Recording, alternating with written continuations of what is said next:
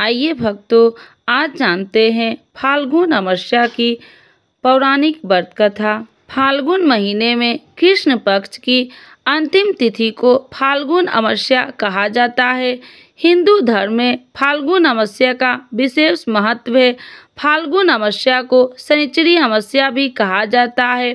फाल्गुन अमावस्या के दिन पितरों को तर्पण किया जाता है तथा उनके नाम से दान्य पुण्य जैसे कार्य किए जाते हैं।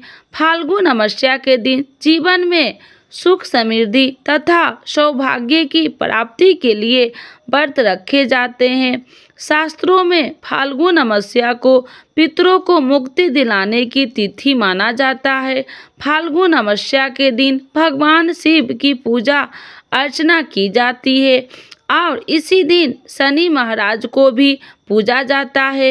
हिंदू पंचांग के अनुसार नया वर्ष चैत के महीने में शुरू होता है और फाल्गुन के महीने के साथ खत्म हो जाता है।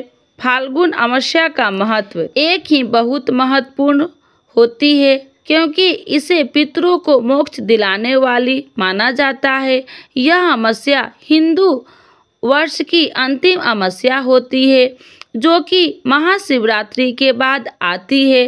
कहते हैं कि जो लोग निरंतर हरे अमावस्या पर श्राद्ध नहीं कर पाते हैं, यदि वह फाल्गुन अमावस्या के समय श्राद्ध करते हैं तो उन्हें उतना ही पुण्य मिलता है, बल्कि काल सर्प दोष के निवारण के लिए भी फाल्गुन अमावस्या का विशेष महत्व होता है।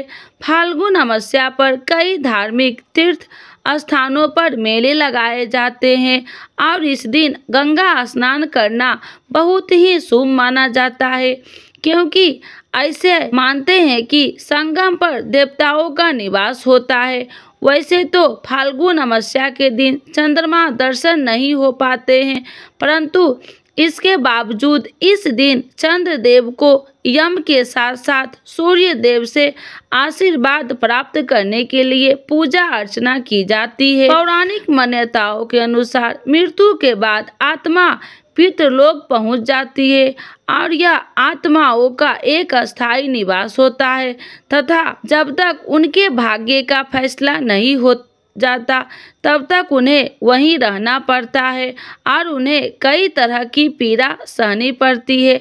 इसलिए अमावस्या के दिन आत्माओं के वंशज संग संबंधी तथा परिचित लोग श्राद्ध कानपुर में आदि करते हैं ताकि उन्हें शांति एवं मुक्ति दिलाई जा सके।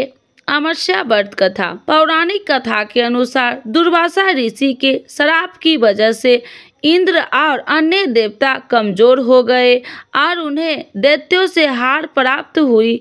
तब सारे देवता मिलकर भगवान विष्णु के पास गए और अपनी बात उनके सामने रखी। भगवान विष्णु ने उन्हें यह सलाह दी कि वह व्यक्तियों के साथ मिलकर क्षीर सागर का मंथन करके अमृत निकाले। तब सब जब देवताओं, नेताओं के साथ संधि कर ली और अमृत निकालने के लिए मंथन शुरू कर दिया।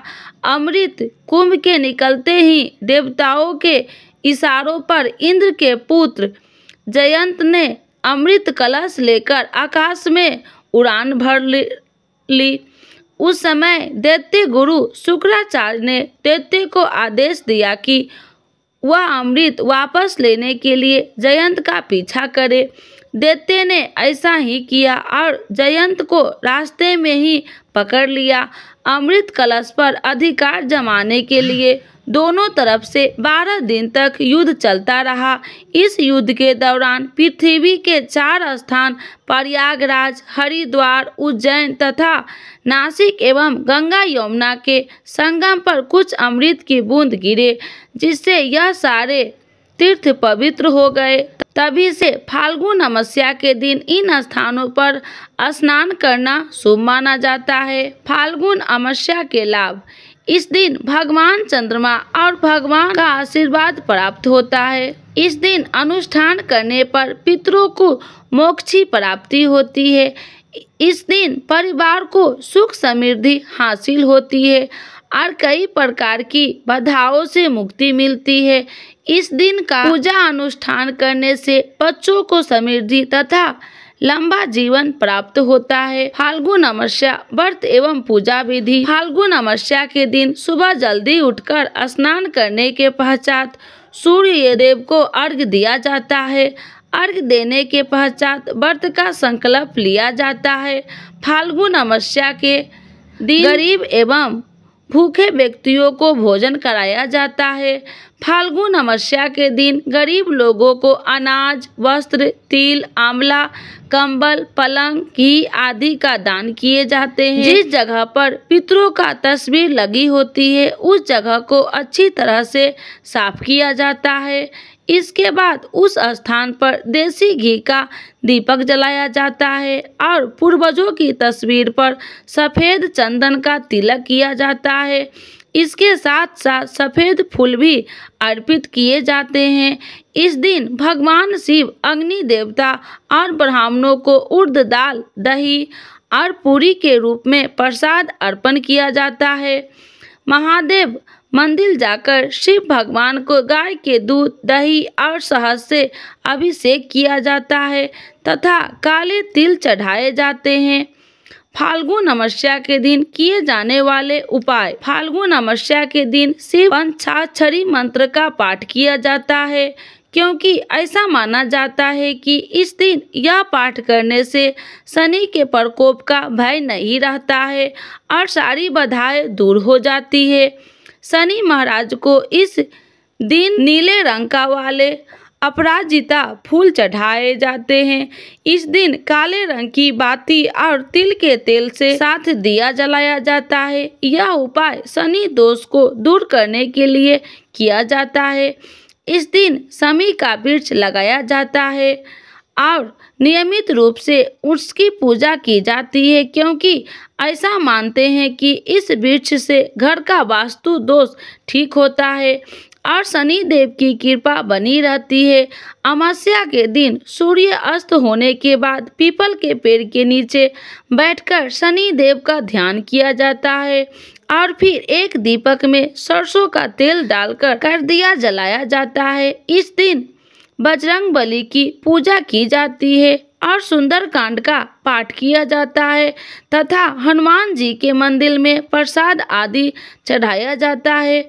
ज्योतिष शास्त्रों के अनुसार सूर्य को कुंडली में लगन और आरोग्यता का करण माना जाता है। इसीलिए फाल्गुन अमावस्या के दिन सूर्य देव की पूजा करके बीमारियों से मुक्ति पाई जा सकती है।